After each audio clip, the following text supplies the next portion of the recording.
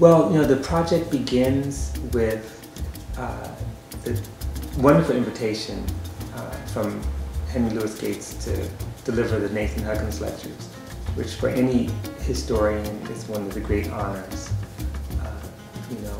And I decided that I wasn't going to uh, just simply deliver work that was in progress, which is a common thing. And um, I was writing about jazz, I was writing this book on Thelonious Monk, and I decided, well, let me come up with a topic that allows me to continue my work on Monk, but then really break out of it. And at the time, I kept discovering, following Monk's trajectory, that Monk was a global figure, and that many of the artists who were uh, close to him had this interest in Africa. Um, Randy Weston and Ahmed Abdul Malik, two major figures in the book. Uh, you know, Weston was Monk's very close friend and a fellow pianist. Ahmed Abdul Malik was his regular bass player. And both, in their own ways, were exploring fusion between sort of West African and North African music and jazz and trying to experiment, push the limits. Monk himself wasn't doing that, but, but these men around him were.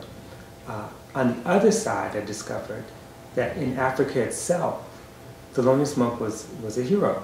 You know, he had never gone to South Africa, but all these South African jazz musicians, uh, people like Kippie Moeketsi, Abdullah Ibrahim, uh, and the person I ended up writing about, Sathima Bea Benjamin, all really loved Monk.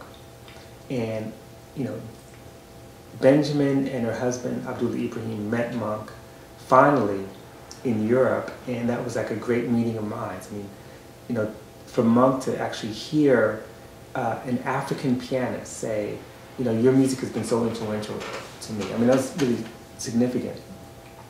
And then finally, there's another character that kept coming up in my book, uh, a man named Guy Warren, or later known as Kofi Ghanaba. Uh, he was a drummer, born in Ghana, uh, who, you know, like many West Africans living in cities like Accra or Lagos, Nigeria, they knew jazz. You know, they knew the music. Uh, the music was already global. So in the 19, uh, early 1950s, late 40s, uh, Guy Warren decided, I'm going to you know, make a name for myself as a jazz drummer. And I'm going to play the jazz drum kit, but I'm, I'm going to bring to it uh, a kind of African rhythmic conception. Uh, I'm going to bring my traditional drums, my talking drums, my djembe, into the mix and make new music.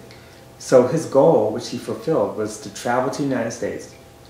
And he got here, came to Chicago, 1954, and set out to make the first African jazz fusion album. You know, so part of what the book does is explore the lives and the works of these of these four artists, uh, because in some ways they, they represent a kind of convergence. Uh, they knew each other in some ways. Uh, sometimes they even worked together. But most importantly, they each were on a particular path to figure out uh, on the U.S. side how to make jazz more African, uh, and on the African side how to make African music uh, connect to jazz. Um, and each one, each one of these four artists believed that jazz in its transformed way really did embody the modernity that represented Africa itself. You know, that jazz was modern music and African for modern people. Uh, and in some ways, uh, these were artists ahead of their time because in the 21st century, we could talk about post-modernity and you know, pastiche and hybridity, and these are terms we use all the time. Well, we know it always existed, but in the 1950s and 60s, there were those, many of whom were very powerful critics, who said, you cannot put apples and oranges, you cannot, you know, mix these forms uh, because it just, uh, you know, dilutes the purity of African music or the purity of jazz you know, when we know that none of those pure. Because these kinds of uh, transnational relationships and intercultural practices go way back. I mean, even in the origins of jazz, I mean, you're talking about, I mean, even if you accept the idea that jazz begins in New Orleans, well, what is New Orleans but the Caribbean? You know, it's a, the Caribbean basin. It's, and what is New Orleans but uh, an, an entry, an entrepot into Mexico?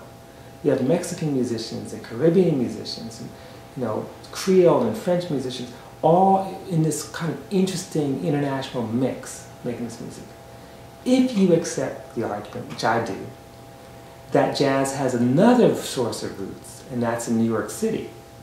Well, who are those musicians? With James, James Reese, Europe, and others. Puerto Ricans, Cubans, West Indians, you know, all these different people together making this music. So the music has always been transnational from the beginning. If there's ever a moment when jazz's roots, its American roots, become unmoored, it is in the 1950s and 60s because it is a moment of deep international exploration. It is a moment of, of incredible travel and conversation interaction. It is a moment when jazz, uh, with its global roots, truly becomes a global form of music. And those who argue vehemently that it's uniquely American um, I think in some ways it's a defensive measure. You know, uh, one of my frustrations is that all the previous scholarship, while willing to acknowledge the impact that American jazz had on the rest of the world, is less willing to acknowledge the impact that other forms of music and other jazz had on the U.S. Uh, and this is a problem. This is a problem we're going to have for a very, very long time uh, unless we are able to document the extent to which influence flows both ways. And that in flowing both ways, it's not African influence on, Amer on Americans or American influence on Africa that matters. It is the crashing and smashing and, and, and collaboration that produces even new music and moves us forward into things that no one's ever heard before. Africa!